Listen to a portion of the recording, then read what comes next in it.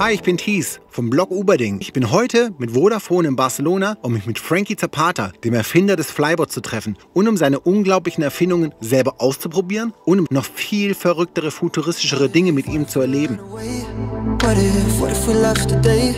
What if we said goodbye to safe and sound? First I created the flyboard, I got the idea of the flyboard in 2000, July 2011 and then the first day I put my feet on it I just dreamed to remove the hose and the, and the jet ski just to be able to fly all around the world and, and be free and be like a real uh, super superhuman.